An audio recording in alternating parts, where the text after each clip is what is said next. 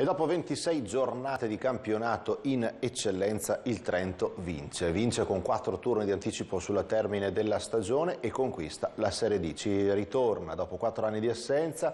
Trento che ha vinto il match di recupero contro la Piano nella serata di giovedì e dunque ha conquistato la matematica certezza di essere il campione di questa stagione 2016-2017. Nella notte però dei festeggiamenti già una prima difficoltà, una prima nuova difficoltà per il calcio Trento un blitz dei ladri al Briamasco che hanno provocato danni ed ammanchi per almeno 10.000 euro. Vediamo.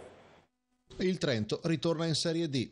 Un finale che già si conosceva, ora si può dire, ma si sa che il campionato comunque bisogna giocarselo, le partite bisogna vincerle e il Trento lo ha fatto e con quattro turni di anticipo, giovedì sera, vincendo nel recupero del match contro l'Appiano, si è laureato campione della stagione 2016-2017, conquistando la Serie D da dove mancava da quattro anni.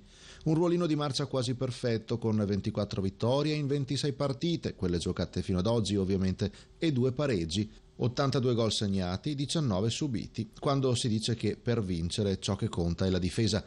Giovedì sera contro la Piano dicevamo è finita 4-2 per gli Aquilotti che hanno potuto così festeggiare al termine dei 90 minuti un successo al quale patron Mauro Giacca puntava fin da quando, quasi tre anni fa ormai, rilevò il calcio Trento e lo risollevò dal fango dove era sprofondato.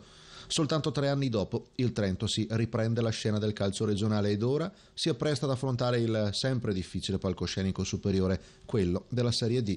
Ma si sa che Giacca non si accontenterà.